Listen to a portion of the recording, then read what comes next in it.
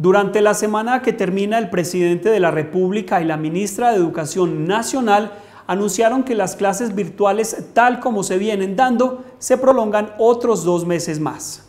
Hasta el 31 de julio irían las clases virtuales en el país, tanto para el nivel preescolar, primaria y secundaria, como para la educación superior. A raíz de eso, entonces, continuamos con el calendario académico, eh, haciendo el acompañamiento efectivo, como lo han venido haciendo los profes, eh, a través de talleres, a través de, del WhatsApp, eh, aprovechando también la radio, la televisión, las plataformas educativas y todos estos medios pues, que se nos han que se, que, se proveen cada día para poder continuar el proceso formativo desde casa.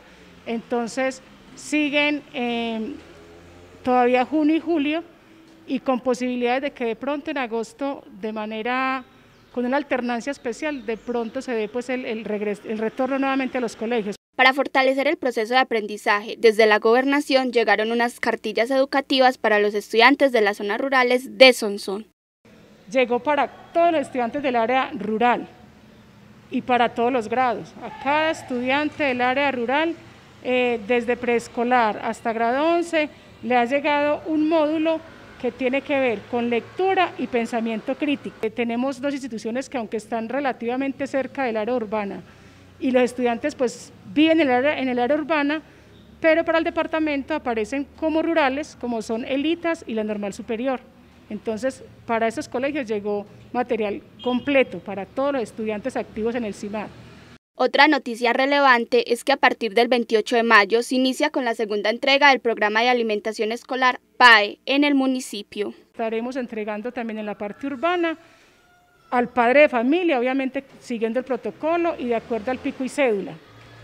Eh, y también y el, el 30 el 30 estaremos eh, enviando al Magdalena Medio y el, 20, y el 30 también estaremos entregando aquí en la parte urbana ese viernes y sábado, eh, como corresponde los números pares e impares para la población rural. Nuevamente los líderes rurales. Nuevamente hará la entrega también los docentes de cada, de cada colegio que se ha encargado, que se ha comprometido y que ha querido colaborar obviamente en este proceso de entrega. Es una función más que hacen estos profes pero aprovecho para agradecerles desde estos medios a los docentes. Cada paquete contiene cereales, lácteos, alimentos proteicos, grasas y azúcares.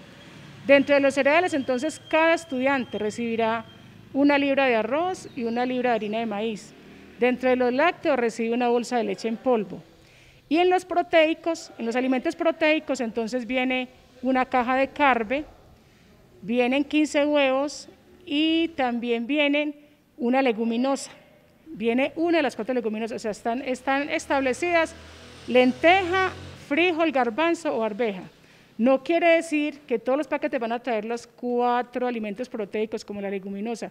De esas cuatro leguminosas solamente reciben una. Eh, medio litro de aceite y una bebida chocolatada. Esos paquetes vienen ya empacados, sellados,